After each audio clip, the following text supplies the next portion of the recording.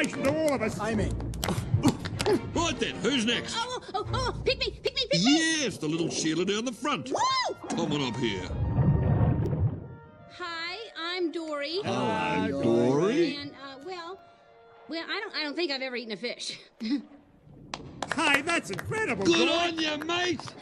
I'm glad I got that off my chest. All right, anyone else? Hello, how about you, mate? What's your problem? Me? I don't. I don't have a problem. Oh, okay. Denial. Just start with your name. Okay. Uh, hello. My name is Marlin. I'm a clownfish. A Clownfish? Really? Go on, tell us a joke. Oh, I love jokes. Well, I actually do know one that's pretty good. Um, there was this mollusk, and he walks up to the, a, a sea cucumber. Normally, they don't talk sea cucumbers, but in a joke, everyone talks. So the sea mollusk says to the cucumber, Nemo. Nemo. Nemo. I don't get it. Well, clownfish is not that funny.